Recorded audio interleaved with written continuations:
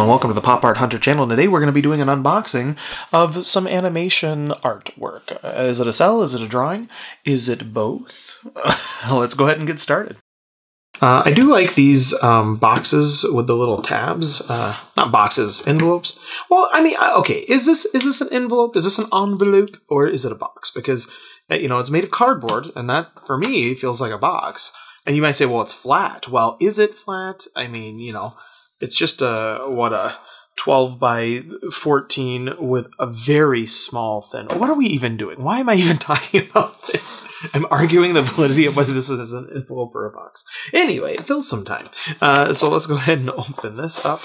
Uh, I do like them uh, again with with that pull tab because you can get things out very quickly and it doesn't cause any damage and you're not you know accidentally cutting into something, etc., so on and so forth. Uh, just believe me when I say I enjoy those.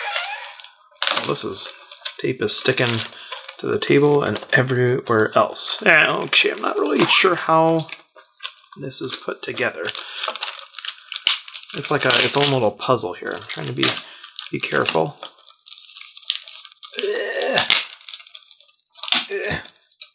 When they use scotch tape like this, I'm I'm okay with uh, just kind of ripping.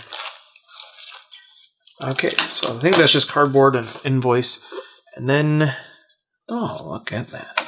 So, this is uh, Gargamel and Azrael from the Smurfs. Uh, and you can see uh, right here the drawing. They have a couple scene notes and such there. But then we also have the matching cel. And that's the important piece for this. Uh, for me, uh, I, I, like to show the differences uh, between the two, kind of show the, the genesis of how the animation process works. And so to get the matching cel to that and see the finalized piece is really cool. Uh, I'm going to test and see how this is attached or not to the back. Oh, and that's very, very nice. It's not uh, attached at all. And actually, that's in it's in pretty good condition. There's a little bit of uh, paper that is removed uh, right on this side here, and that's also it's kind of nice having the original sketch. Um, I, I, think it it provides, I mean, in a weird sort of way, a little bit of authenticity uh, to the pieces that you can actually match up and see uh, that you have paper missing from that exact spot on here. Um, and so it, it, shows that you know at one point these two were attached, they were stored together, um, and and likely you know were were meant to be together, uh, and and were used to create the other pieces. Um, so yeah, I, I think uh, this will be a cool addition uh, to my collection. Uh, I hopefully um, I'm thinking about uh, framing them side to side, um, side by side, uh, so that you can see the drawing versus um, the actual uh, cel itself. That's cool, and the background's pretty nice too. I don't know that the background actually fits together. Um, if it it's weird if it does. Uh, because the way it is right now, he is laying on a table slash on the floor. So I might uh, have to find a better background for this one. Uh, yeah, but uh, I think I think this is a pretty uh, cool set of pieces. I got it for a pretty reasonable price, and it'll be a great addition to the Smurf collection. As many of you know, I'm a villain guy, so adding any villain to my collection is always a plus.